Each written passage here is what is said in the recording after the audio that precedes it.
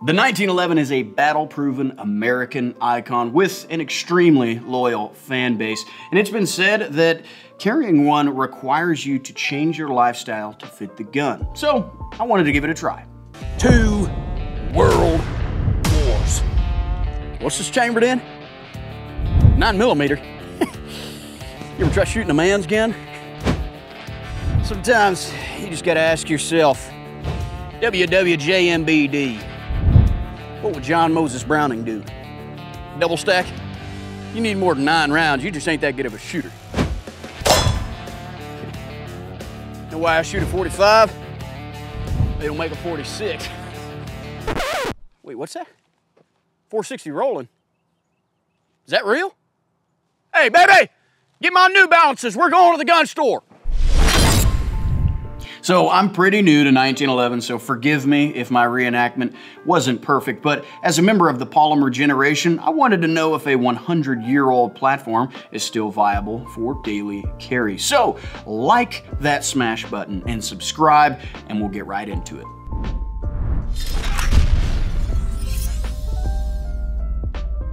Firstly, I want to thank Federal Ammunition for supplying all the ammo used in this video. We used Federal American Eagle 9mm, 115 grain, 230 grain 45 ACP, and 180 grain 10 millimeter.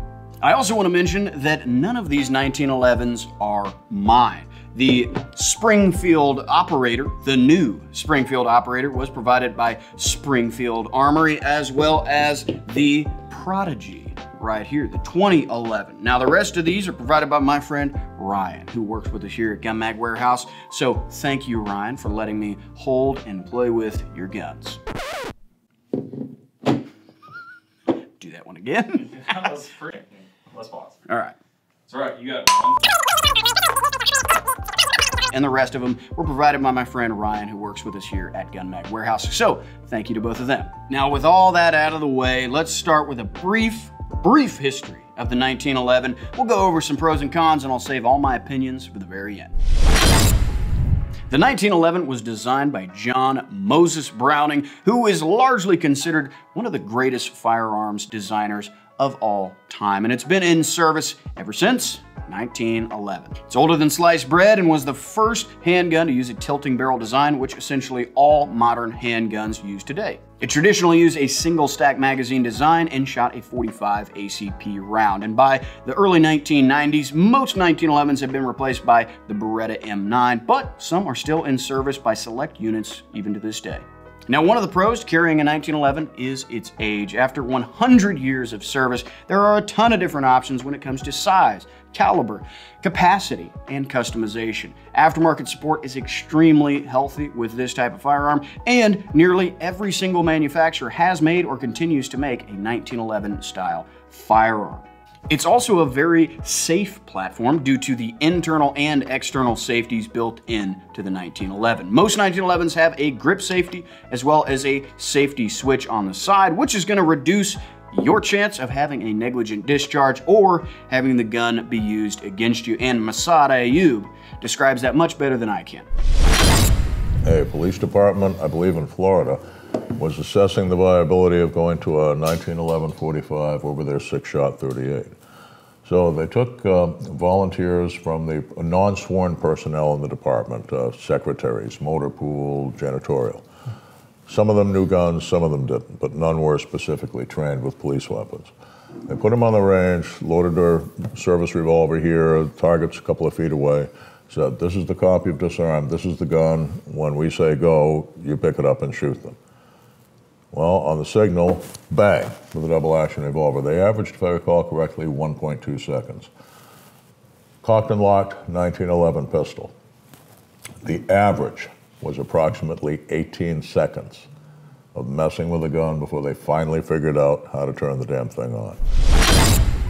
Now, that may be a little surprising to some, and maybe you want to disagree, that's fine. It's at least something to consider. 1911s are also heavier than their polymer counterparts, which means the mass of the gun is going to better help mitigate that recoil and reduce the amount of time it takes to provide follow-up shots to the target. And finally, 1911s are known to be extremely accurate due to their tight fitment of the parts as well as a short trigger travel. And for that very reason, most competition shooters in the open class will be using a 2011 or a 1911 style platform. Um, the only difference between a 1911 and 2011, from what I know, is the double stack magazine capacity.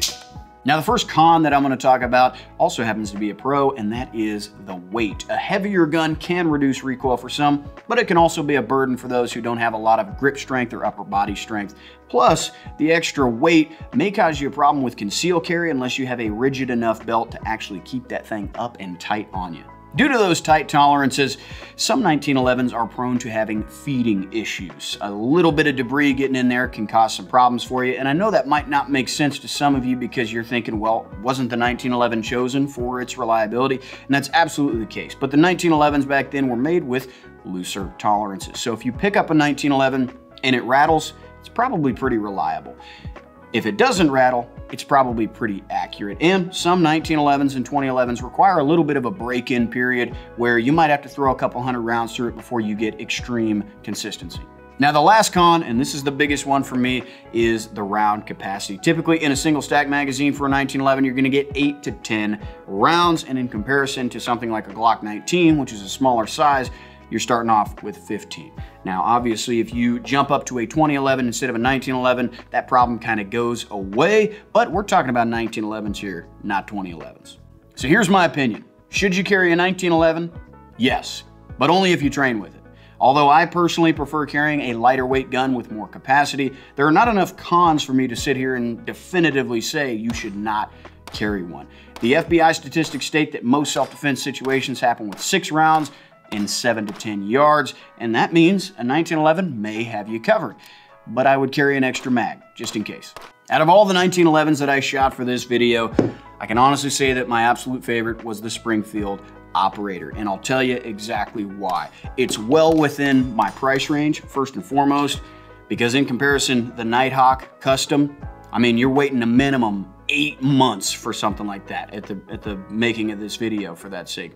And shooting this, getting it all dirty and making it look old, it just kind of hurts my soul. I, I don't want to shoot this for that very reason. Plus, if I ever had to use it in a self-defense situation, it kind of goes bye-bye for a while and maybe forever. So uh, don't want to do that either. I'd like to hang on to this. But if I was going to carry anything on the table here, it's very likely going to be the Wilson Combat EDC X9, simply because I get the double stack magazine capacity and all the other benefits of the steel body.